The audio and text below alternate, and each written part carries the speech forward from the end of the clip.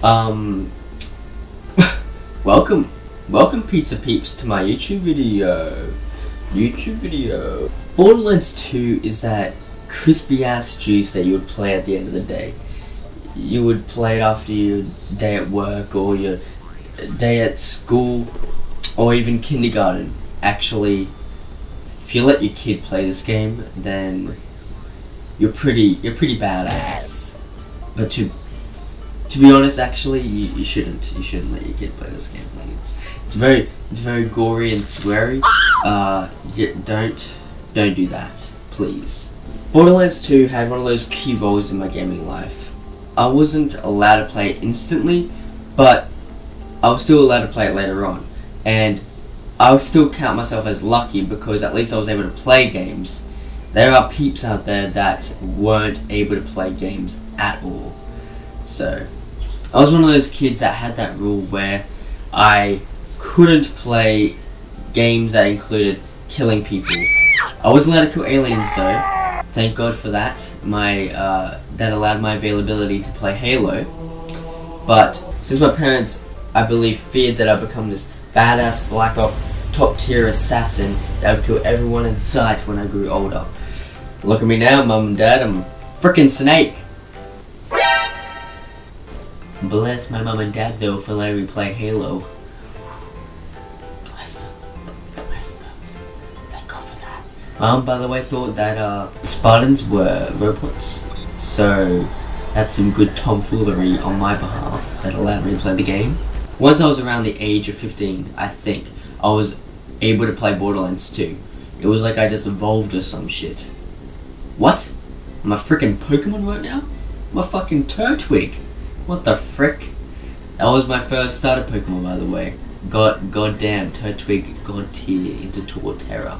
Borderlands 2's story is revolved around you stopping Handsome Jack, this antagonist, that's uh, trying to awaken this vault and awaken the warrior, which is this badass giant lava dragon. Pretty cool, right? But hey, there's more. The plot is a well pieced together concoction of gore, interesting characters, and just great storytelling. It's like biting down your favorite brownies made by your goddamn grandma. Now, the key points that I'll be looking at for Borderlands 2 would be 1. Characters, 2. Environments, 3. Art style, 4. Dialogue, 5. Story, and finally the flipping memories you would make with your friends. Let's be honest here, I never played Borderlands 1. I only played Borderlands 2, but I still understood the uh, like the story to a degree. Like I didn't need to play Borderlands 1 to understand the story. Like it's pretty simple. Uh, it's a good story, but like it's it's it, you don't need to play the first one. Okay, that's that's the point I'm trying to get across here, buddy. like I didn't have the connection, the same connection as people that returned from Borderlands 1 to Borderlands 2 with the characters that returned from Borderlands 1. I didn't even know that they actually returned from Borderlands 1 at that time. I was a big dumb dumb. I was a big dumb dumb kid. Didn't even know that.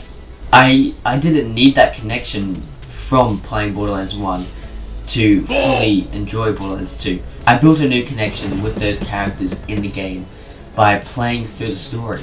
And it was just enjoyable and like I didn't need to have a past connection from Borderlands 1. Yes, that would have been good for nostalgia wise, but like I just didn't need it to enjoy the game to its full extent.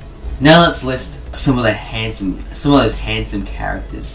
I'm not, no, I'm not talking about handsome Jack, by the way. Like I, I did use the term handsome, but I'm not specifically talking about handsome Jack. And I'm not going to list all the characters from A to Z.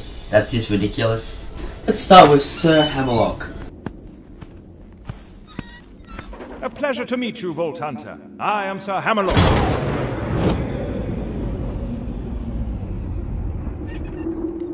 At your service.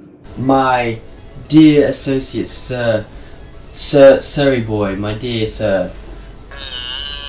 Sir Hammerlock is a part cyborg gentleman with the most astounding moustache I've ever seen until I saw Brick playing the sax in the new Borderlands 3 trailer. Hammerlock is usually a calm character until you lock him in a room with Claptrap, which pushes him to a point where he just bursts out with verbal insults at our one-eyed friend. Overall, Sir Hammerlock is a cool guy that's always dressed for the occasion. But that's if the occasion is always hunting. Next up is Handsome Jack. We're gonna talk about Handsome Jack. Come on, we gotta talk about Handsome Jack. Come on, we gotta talk, we gotta talk about Handsome Jack. We're about to talk about Handsome Jack. Handsome Jack is fucking Handsome Jack, man. He's like the main antagonist of the game. And I don't even know if that Borderlands 3 antagonists, yes, antagonists because they're twins, are gonna be able to be as interesting and entertaining as Handsome Jack. Because Handsome Jack keeps you in, interested and intrigued and up to date throughout the entire storyline. It's amazing. It's done so well. He's always got a joke up his sleeve, man. Okay, how about this? Lady, I don't even know what to call you. You tell me why you look like you headbutted a belt sander, and I'll let all of you go right now. My husband gave me a skag pearl ring. The pearl released hunger-inducing pheromones. Oh, you know what? I am so sorry. I, I just forgive me. Where, where's your husband now? He's dead. That is a heartbreaker. But you got something in common with him now, at least. The thing is, though, you hate Handsome Jack, but you also love him. His actions convince you to hate him, but his dialogue convinces you to freaking love his ass. Like, seriously? Come on, people. You just want to literally wrap your hands around his neck and just choke him to death. But you're just gonna, he's gonna make you ball up with laughter while you're doing that, you know what I mean? Mr. Torgue is, uh, he's an overly beefed up freaking badass that is one of the manufacturers for a weapon brand.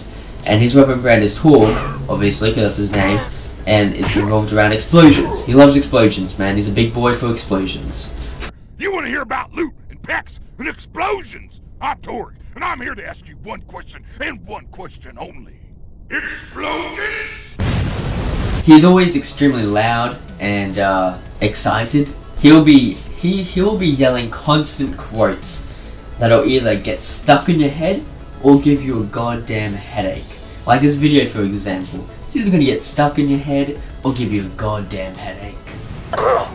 Buff Gamer here. Today I'm reviewing Diamond Mercenaries 2. The gameplay's pretty dull. It sucked. 6 out of 10. F***ing what? Diamond Mercenaries 2 was awesome! Falls under! Find that asshole and kill him because I disagree with his review score! Now, of course, I'm going to talk about this guy. Like, of course I am. Like, he's he's got one eye. He's yellow. He's got a wheel. Somebody just went to the toilet. If you're wondering what that noise was, just ignore it. Just ignore it. Ignore that noise. Ignore it. Lastly, Claptrap. He can be an absolute nuisance, but he can also make up to it with a simple joke or his cheery personality. But he also is kind of just a pain in the ass with his ego and controlling you. But that's a part of his character. That's, that's come, come on, it's part of the why you love him, man. Also, his one enemy is Stairs. I will. Stairs? No!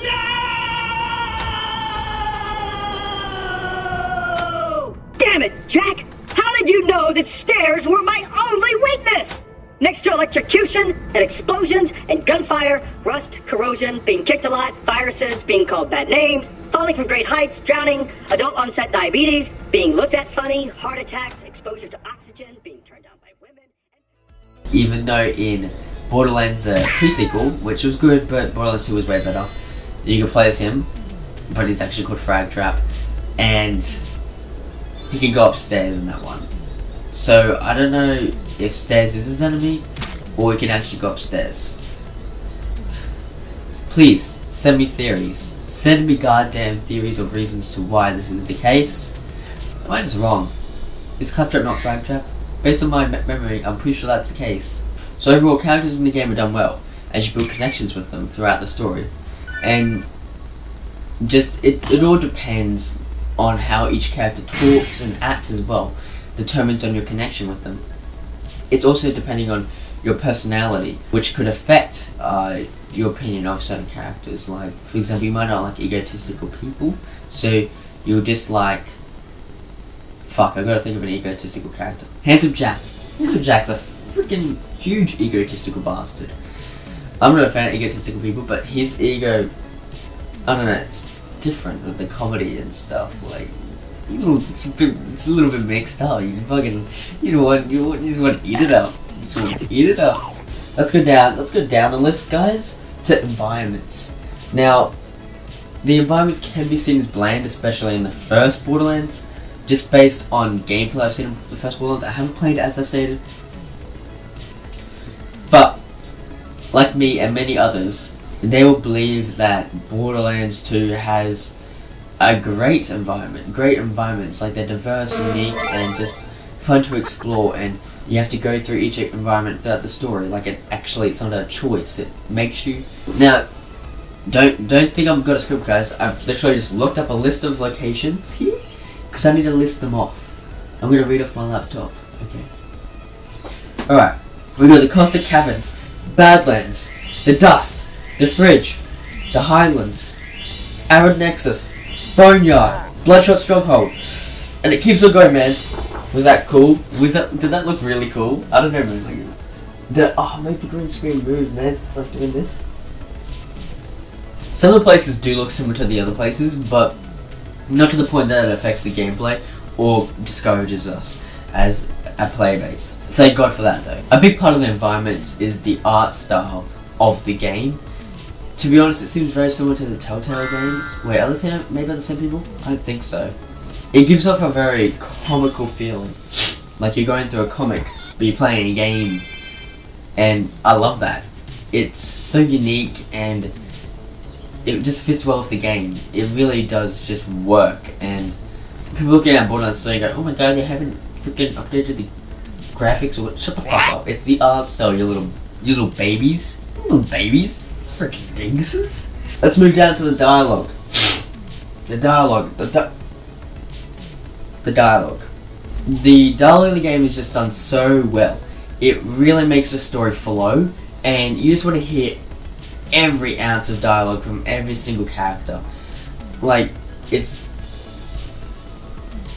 amazing how each character has such diverse dialogue and it all connects with the character, which is usually the case with most films and games and stuff, but it's done really well in Borderlands 2. And you you know what I mean, like take it away, Krieg, you little you little you little meat bicycle boy. Nipple salads! Alright guys, we all have those crispy frickin' memories in video games with friends.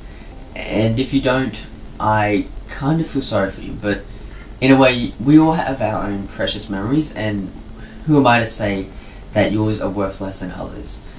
I just want to say that games are just a special gift to this world and bring so much joy. Unless you play Fortnite.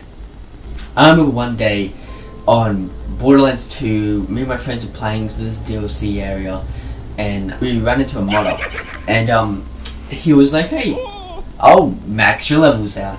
I'll give you bajillion guns. Come over here. We'll, I'll, I'll treat you like a queen." I was like, "Hell yeah!" So we jumped on the, onto the leveling up train, maxed up our level, maxed up our gear, and I was already level 70, so two levels is not a big deal. And yes, don't judge me, man. I was a young kid back then. I was, uh, I was, I was daring, and I, fuck, who wouldn't take that chance as a kid? Like even now, I probably would do it. To be honest, I am bound to have a bajillion more interesting memories in this game than that I can that I can talk to you guys about. But I don't know, I just can't think of any. I just love chilling with the boys and playing this crisp game with them. It was just fun times. I have many other memories of games that I've played in the past with different peepers, and I'm bound to make videos on them as well. So hopefully I can do a better video in the future, or maybe just as good if this is gonna be good. If this is classified as a good video, I hope it is. Now you guys are probably like, "What about the guns, Fynneas?" Hmm, what about the guns? What about the guns, Fynneas? What about the guns? The game is revolved around guns. They, they keep every trailer they advertise. There's a bajillion guns in this game. I'm literally like so excited to get guns in the legs in the next Borderlands. It's gonna be so fun. It's a or whatever. You fucking throw that boy, and you just get a little gun boy, little gun boy with legs shooting people. It's fucking. The game is so crazy. We have guns that talk, scream, shoot swords, shoot infinite bullets, shoot ricochet bullets, but like to the point where it just ricochets infinitely and obliterates bosses. It's a freaking OP ass weapon. Called the Conference Call. The guns were ridiculous, but it was a good ridiculous. Me and my friends would farm for these weapons consistently at the end game. And I'm not talking about the freaking movie, I'm talking about the actual end game. End game. End game. But yeah, farming for these weapons would take hours of time, going back and forth, killing a certain enemy or boss, trying to find the most uh, efficient way to kill it, like doing these weird wacky ass jumps and stuff like that. Yes, it doesn't sound that fun by going through hours and hours of grinding just for a single weapon, but once you got it, it sure was rewarding. And there was also the factor that you have to fight for the weapon because I don't think I'm pretty sure you couldn't share loot in Borderlands 2. Like if something dropped, that person could pick it up, or you could pick it up. Or maybe uh, I think it was where a weapon could drop from a person, but it won't drop for you. But in Borderlands 3, fucking love your 2K. We can now share loot, or we could go the classical route as well and help friends level up like little babies. So, why did I make this video? Well, it's pretty. I think it's pretty obvious actually. Like I've been comparing it to Borderlands 3 this entire time. It's because it just seems like a perfect time to make a video based on Borderlands 2, talk about how I loved it so much in my childhood and stuff like that, and how I loved it, love it now, and the reasons I love it, and that Borderlands 3 is coming out soon, and I'll be buying the shit out of that game, and it will be just as good, hopefully, if not better. Oh man, I'm so tired. I will give Borderlands 2 8 screaming guns out of 10. By the way, I'm not going to use screaming guns as a rating every time I talk about a game or a movie or some shit. It's just going to be specifically referencing that game or movie. The item. That's rating. Thank you for watching.